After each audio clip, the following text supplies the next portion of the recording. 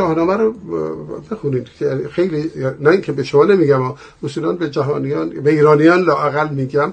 برای که من نظرم بزرگترین کتاب سیاسی که توی این مملکت نوشته شده. اون نشون میده چه جوری هر بار یک کسانی میان یه وعده میدن برای بهبود جهان عدالت چی چی چی رو نور روشنایی فلان. و کم کم این قدرت فاسد میشه تبدیل میشه به چه گندی.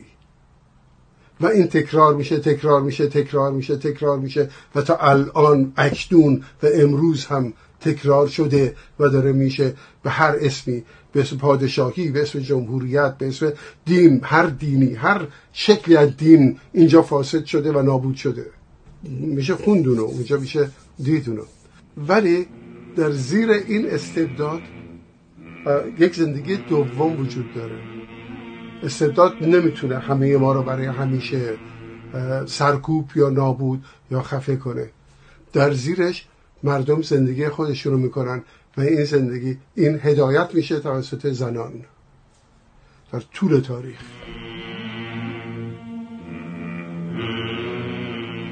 زنها هستن که مرکزن.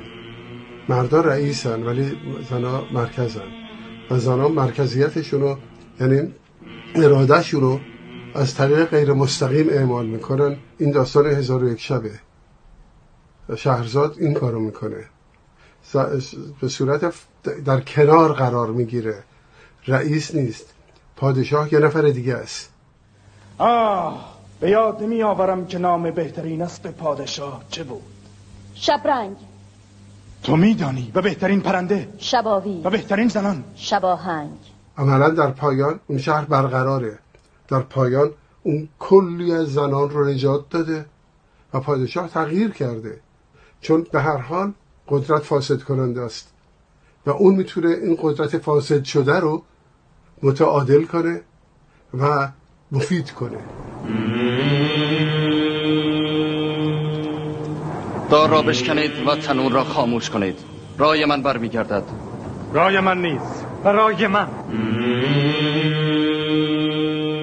در تمام فرهنگ ایران زنان که دارن اداره می‌کنن و مردا در بسیاری از جاها لاف می‌زنن یا در رؤیاهای خودشون دارن سیر می‌کنن این چیزیست که من فهمیدم و این چیزیست که توی نوشته هام یا توی ساخته هام جورایی اومده.